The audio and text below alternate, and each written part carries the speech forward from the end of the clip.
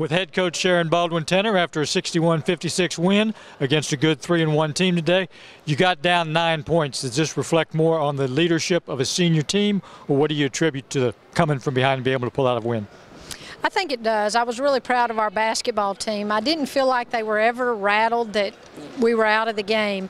But, you know, we were missing some shots that we normally hit. They got a little bit frustrated, but I felt like we kept we kept playing. I thought the defense intensity got better as the game went along.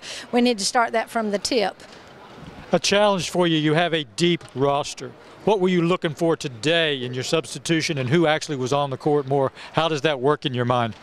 It's hard to say. You know, when you put your shooters in and, and Ashley Cole's one for five and, and uh, Makiba's one for six at halftime, you're kind of scratching your head, what are we doing? But uh, whoever we put in there, the second half too, I think that we came together with good team defense. We got better talking to each other and, and making some stops down the stretch.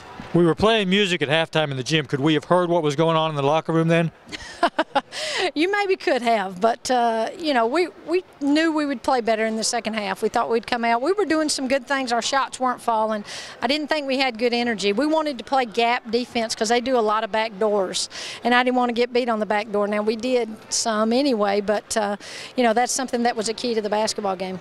Number 20 today, 20 points. Talk a little about Kaylee Nolan thought Kayla played very well. Um, you know, she was strong there at the end of the game as well, going to the basket, getting fouled, being aggressive, and, and also picking up some rebounds for us. I thought she did a good job defensively as well. When do we play next, and who do we play?